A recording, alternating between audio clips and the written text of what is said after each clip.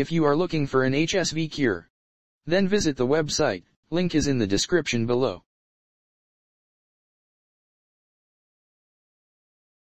Hi, this is Mark, and welcome to your channel, The Elementary Info.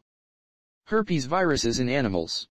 In the virology of animals, the most significant of the herpes viruses is from the alpha herpes virinae subfamily. There have been numerous researches on the PRV virus, pseudorabies virus, which is responsible for the Aujeszky's disease in swine. The research on the PRV virus has brought up a method of controlling animal infections using the genetic modification of vaccines. Presently, there are undergoing wide-ranging studies of the PRV virus as a rudimentary model for fundamental progressions during the lytic infection of the herpes virus, and for the disentangling of the mechanisms of the molecules of the neurotropism of the herpes virus.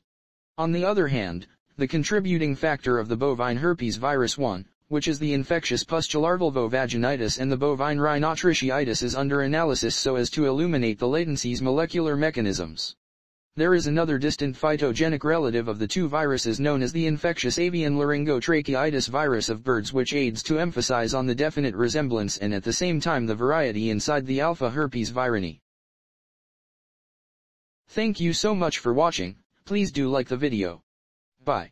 If you are looking for an HSV cure, then visit the website, link is in the description below.